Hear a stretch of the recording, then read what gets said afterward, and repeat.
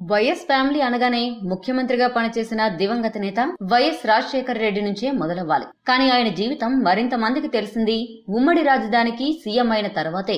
అద్భుతమైన సంక్షేమ పథకాలు ఆయన్ను పేదలకు దగ్గర చేశాయి. వరుసగా రెండోసారి గెలిపించేందుకు దోహదపడ్డాయి. ఆయన వేసిన ముద్ర చెరిగిపోనిది. తెలుగు రాష్ట్రాల్లో వైఎస్ ప్రవేశపెట్టిన పథకాలు ఇప్పటికీ కొనసాగించే పరిస్థితి ఉంది. ఎందుకంటే వాటిని తీసేస్తే ప్రజాగ్రహానికి గురికాక తప్పదు. అందుకే జగన్ ఎలాంటి పాపులారిటీ లేకున్నా కేవలం వైఎస్ కొడుకుగానే జనంలో గుర్తింపు పొందాడు.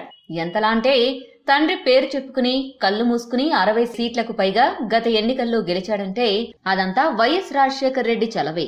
ఆయనపై అవినీతి ఆరోపణలు ఇతరత్రా విమర్శలు ఎన్ని ఉన్నా సంక్షేమ పథకాలు మర్చిపోయేలా చేశాయి. మరి వైఎస్ జీవితం అంతా అద్భుతంగా ఉందా అంటే అది తెలుసుకోవడానికి కొద్దిగా వెనక్కి వెళ్ళాల్సిందే. వైఎస్ తండ్రి రాజారెడ్డిపై ఫ్యాక్షనిస్టుగా ముద్ర ఉంది. ఆయన్ను చూస్తే కడప జిల్లా మొత్తం వణికిపోయేది. ఆయన బెదిరిస్తే చాలు ఎంతటి వాడైనా తలొగ్గాల్సిందే అన్న పేరుండేదని కొంతమంది చెబుతారు. కానీ రాజారెడ్డి అంటే కడప జిల్లా వణికిపోయేలా చేసిన ఘటన ఒకటి ఉంది. అదే రాజారెడ్డి అనే పేరును ఏపీ మొత్తానికి పరిచయం చేసిందంటారు పాతతరం నాయకులు. కాంట్రాక్టులు చేసుకుంటూ ఉండే రాజారెడ్డికి కడపలో ఎదురు ఉండేది కాదు. ఆయనంటే అందరికీ హడలే.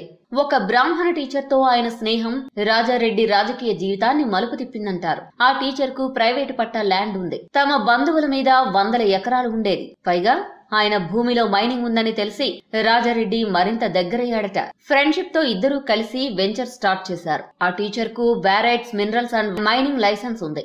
కొద్ది రోజుల వరకు ఇద్దరూ కలిసి వ్యాపారం చేశారు. మైనింగ్లో బాగానే వెనకేసుకొచ్చారు. అయితే అదే కాంట్రాక్టర్ను చంపి రాజారెడ్డి మొత్తం లాక్కున్నాడట.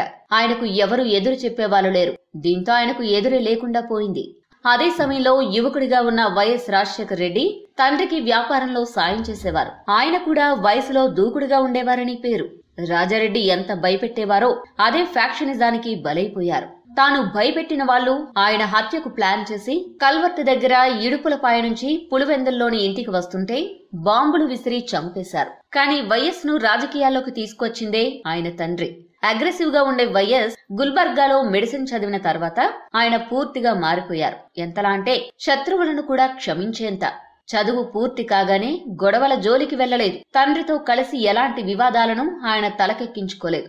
ఒకప్పుడు ఇదే వైఎస్ ప్రత్యర్థులను మాటలతోనే బెదిరించేవారు. ఎదురొస్తే బాగోదని వణికించేవారట. పైగా ఆయన సీనియర్గా ఉన్న కేవీపీతో సాన్నిహిత్యం కూడా వైఎస్కు మేలు చేసిందే అంటారు. ఇద్దరు ప్రాణ స్నేహితులు వివాదాలకు దూరంగా ఏదైనా ఉన్నంతలో సేవ చేయాలనుకునేవారట.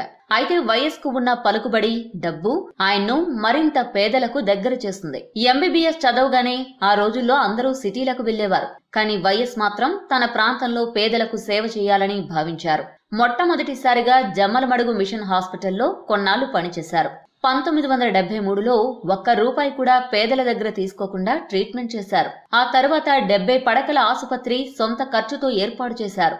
ఆయన సేవా గుణం రాజారెడ్డి చేసిన తప్పులన్నీ కొట్టుకుపోయేలా చేశాయని వైఎస్ ప్రత్యర్థులు సైతం ఒప్పుకుంటారు. పంతొమ్మిది వందల డెబ్బై ఎనిమిదిలో అసెంబ్లీకి ఎన్నికైన వైఎస్ ఎనభై నుంచి ఎనభై మూడు వరకు మంత్రిగా కూడా చేశారు.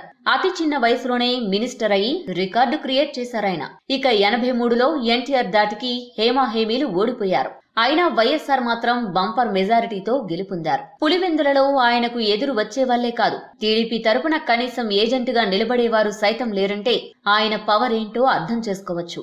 లింగాలలో పార్టీ ఆఫీస్ ఓపెన్ చేయడానికి టీడీపీకి ముప్పై ఏళ్ళు పట్టింది. అంతలా వైఎస్ ఫ్యామిలీ పులివెందులలో తనదైన ముద్ర వేసింది. రాజకీయాల్లో వేగాన్ని చూసి అప్పటి ప్రధాని ఇందిరాగాంధీ సైతం వైఎస్ను మెచ్చుకున్నారు. కేవలం ముప్పై నాలుగేళ్ళకే ఆయన్ను పీసీసీ ప్రెసిడెంట్ను చేశారంటే వైఎస్ లీడర్షిప్ క్వాలిటీస్ ఏంటో అర్థం చేసుకోవచ్చు. ఆ తర్వాత ఎనభై తొమ్మిదిలో ఎంపీగా పోటీ చేసిన వైఎస్ మళ్ళీ తొంభై ఎనిమిదిలో రాష్ట్ర రాజకీయాల్లో చురుగ్గా పాల్గొన్నారు. తనతో పాటు రాజకీయాల్లోకి వచ్చిన బాబు సీఎం కావడం వయస్సులో కసి పెంచిందంటారు ఆయన సన్నిహితులు. తన సాయం తీసుకునే బాబు తన కళ్ళ ముందే ముఖ్యమంత్రిగా దేశ రాజకీయాల్లో కూడా పేరు తెచ్చుకోవడం వైఎస్ ఆలోచన శైలిని మార్చిందనేది కొంతమంది వాదన. పేదలకు దగ్గర కావాలంటే ఏం చెయ్యాలో ఆయనకు బాగా అర్థమైంది. శత్రువునైనా నవ్వుతూ పలకరించే మంచి యోగిలా మారిపోయారు వైఎస్ పేదలు అవసరం కోసం ఆపద కోసం తన తలుపు తడితే సాయం చేసే వరకు నిద్రపోయేవారు కాదు. వరుసగా తొమ్మిదేళ్ళు టీడీపీ అధికారంలో ఉండడంతో పాటు రైతులు బాబుపై ఆగ్రహంగా ఉన్నారు. ఇదే సమయంలో వైఎస్ చేసిన పాదయాత్ర ప్రజల మనసును గెలుచుకునేలా చేసింది. అరవై నాలుగు రోజుల పాటు ఆయన చేసిన పదిహేను వందల కిలోమీటర్ల పాదయాత్ర ఏపీ రాజకీయాలను మార్చాయి. తన స్నేహితుడైన చంద్రబాబు నుంచి పవర్ను లాక్కుని సీఎం అయ్యారు. కేబినెట్ మీటింగ్లో ఉన్నా సరే ఎవరైనా రైతు వచ్చినా సరే మంత్రులను నిలబెట్టి ఐఏఎస్ అధికారులను బయటకు పంపి వాళ్ళకు సాయం చేసే గుణం ఆయనది. ఇక కడప నుంచి వచ్చారంటే డైరెక్ట్గా వైఎస్ అపాయింట్మెంట్ దొరుకుతుంది. పులివెందుల వాళ్ళకైతే అది కూడా అవసరమయ్యేది కాదట. పేదవాడైనా సరే ఆఫీస్లోకి పిలిచి ఎంత పెద్ద ఆఫీసర్లతో మాట్లాడుతున్నా ఆపి వారికి టీ కానీ కాఫీ గాని ఇచ్చి సాయం చేసి పంపేవారట వైఎస్. అందుకే వరుసగా రెండోసారి సీఎం ను చేశారు ప్రజలు. కాకపోతే విధిరాతకు వైఎస్ బలయ్యారు. స్వాతంత్రం వచ్చిన దగ్గర నుంచి ఎప్పుడూ లేనంతగా రాష్ట్ర ప్రజలు చాలా సంతోషంగా ఉన్నారు. వారి జీవితాలు మరింత వెలిగేలా చేస్తానన్న వైఎస్ హెలికాప్టర్ ప్రమాదంలో మరణించారు. ఆ తర్వాత జగన్ రాజకీయాల్లోకి రావడం సీఎం పదవిని సోనియా గాంధీ తిరస్కరించడంతో వైఎస్ఆర్సీపీ పుట్టుకొచ్చింది. ఆ తర్వాత కథ అందరికీ తెలిసిందే.